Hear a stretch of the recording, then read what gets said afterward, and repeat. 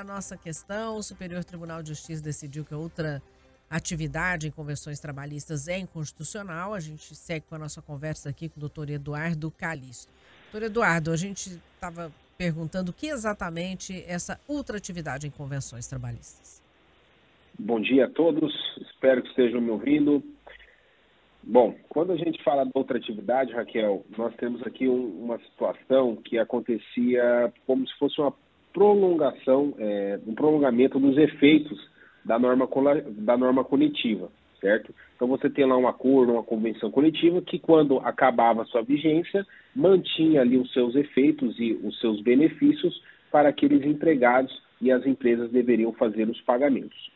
Em 2017, quando veio a reforma trabalhista, teve ali um dispositivo que vedou essa ultratividade, ou seja, é, deixou de obrigar as empresas a observarem esses pagamentos de uma convenção coletiva ou de um acordo coletivo, até que viesse um novo instrumento coletivo a ser negociado. Mas aí ficou aquele embate entre a, o judiciário trabalhista, o entendimento da legislação trabalhista, até que foi é, observada uma, através de uma ação de inconstitucionalidade de uma, de uma súmula do Tribunal Superior do Trabalho que autorizava essa outra atividade, e agora, no final de maio, é, foi proibida essa outra atividade. Ou seja, então, quando uma convenção ou um acordo coletivo perdem o seu período de vigência, as empresas não estão mais obrigadas a seguir aqueles benefícios que constam ali, ou todas aquelas cláusulas obrigacionais, devendo seguir apenas a legislação habitual. CLT, entre outras leis. Doutor, isso, é Vinícius Buganza, Jovem Pan News, isso traz uma certa segurança é, para os empresários, essa mudança é, que foi feita? Bom dia, Buganza. Sim, havia uma insegurança em relação a esse limbo que existia sobre segue ou não segue a outra atividade. Agora, com o entendimento atual, as empresas, quando terminar ali o prazo de vigência dessa convenção coletiva não estão mais obrigadas a seguir isso, tá certo? Acontece que nesse período até que se tem uma nova negociação coletiva, elas podem fazer esse pagamento por mera liberalidade, mas corre o risco disso integrar também os contratos de trabalho. Bom, existiam muitos questionamentos na justiça sobre as empresas pararem de pagar os benefícios nesse exatamente nesse gap aí é, do encerramento da convenção coletiva e estabelecimento de outra, né? É, até que os sindicatos é, pudessem negociar uma nova convenção. Tinha muita gente na justiça questionando, querendo receber sobre esse período. Como é que fica isso? É. Em razão da insegurança que havia sobre essa discussão ainda pendente no Supremo Tribunal Federal, Raquel, as empresas estavam observando a continuidade desses pagamentos. Algumas, de fato, deixavam de observar e fazer esses pagamentos e alguns empregados entravam com a ação pedindo essas diferenças. Algumas vezes até os sindicatos entravam com essas ações, certo?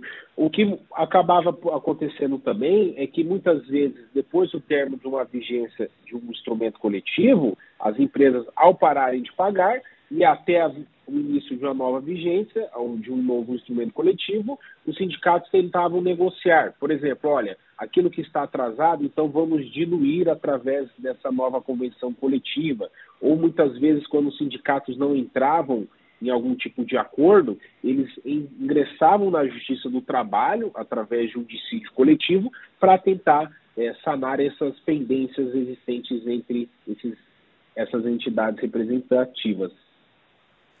Doutor, é, a suspensão dos benefícios segue a regra do prazo estipulado pela convenção, por exemplo, 12 meses?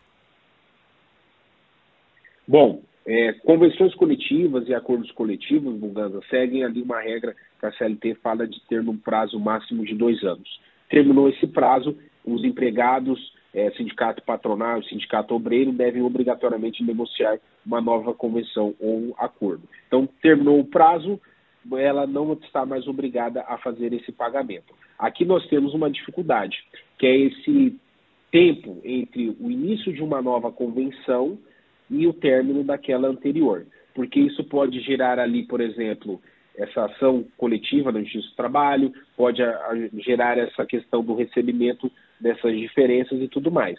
Mas não tem aqui o que vamos dizer uma suspensão desses benefícios propriamente dito. Ela simplesmente deixa de ter efeitos.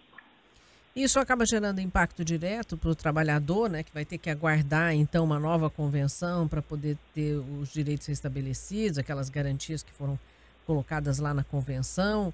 É, e no caso das empresas continuarem concedendo esses benefícios, tem risco no futuro?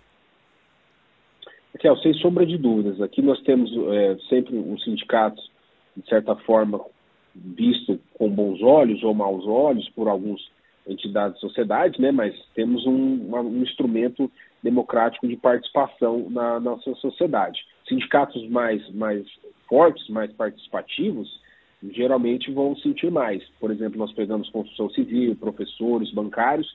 quando você tem essa convenção coletiva que perde a sua eficácia e sua vigência, é, algumas, alguns, algumas condições vão deixar de ser pagas. Vale refeição, alimentação, alguma questão de plano de saúde também.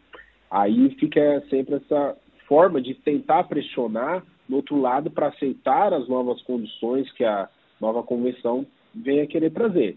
Mas, por um lado também do empregador, isso é vantajoso, porque ele pode, através de é, acordos individuais firmados junto com esses empregados, tentar manter ali um benefício, ou também através uma comissão de representação de empregados dentro da própria empresa, manter aqueles benefícios que já, cons já consignavam nas convenções coletivas. Certo. Doutor Eduardo Calixto, muito obrigada pelas informações. Desejo um bom dia.